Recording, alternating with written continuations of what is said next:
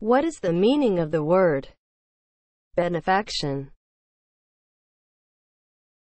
As a noun, a contribution of money or assistance.